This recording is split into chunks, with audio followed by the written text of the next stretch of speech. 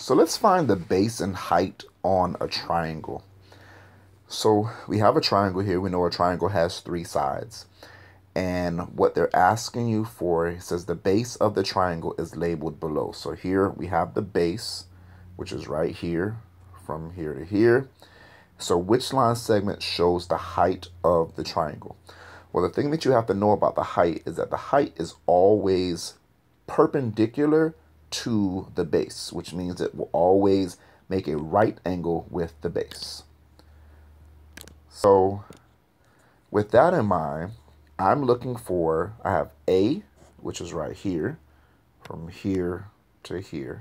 I have B from here to here, and C is from this point to here.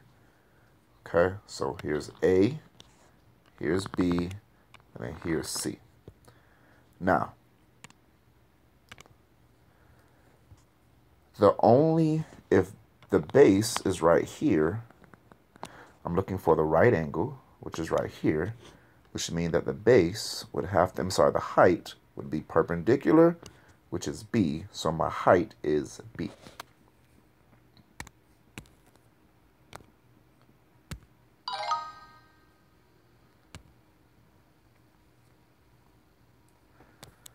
So again, the height of the triangle is labeled which segment shows the base.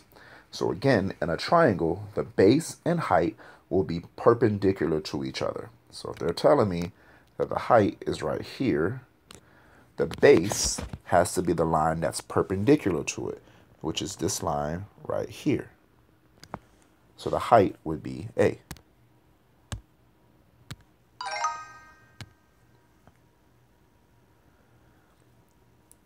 The base of the triangle is labeled right here. Which line segment shows the height?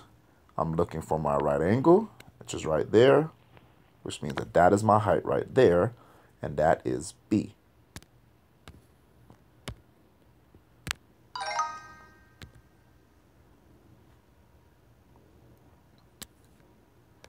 So this time we're supposed to match the base to the corresponding height.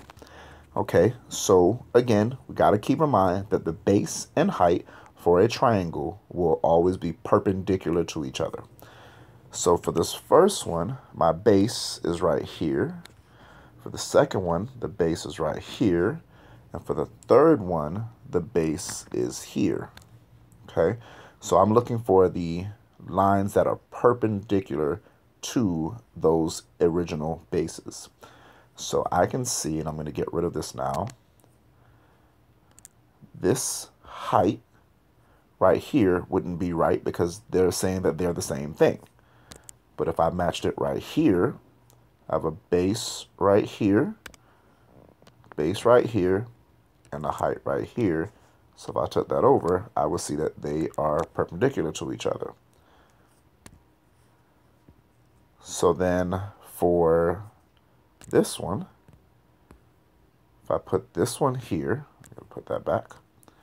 If I put this one here, so if this is my height and this is my base, if I drew those figures on each other, I would see that I have, they're making a right angle.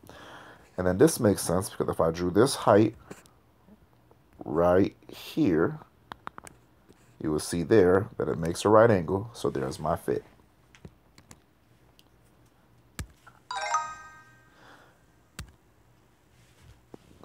So that's all you have to do as long as you continue to recognize that the base and height of a triangle have to be perpendicular to each other. It takes no time to learn that process because you need that to find the area.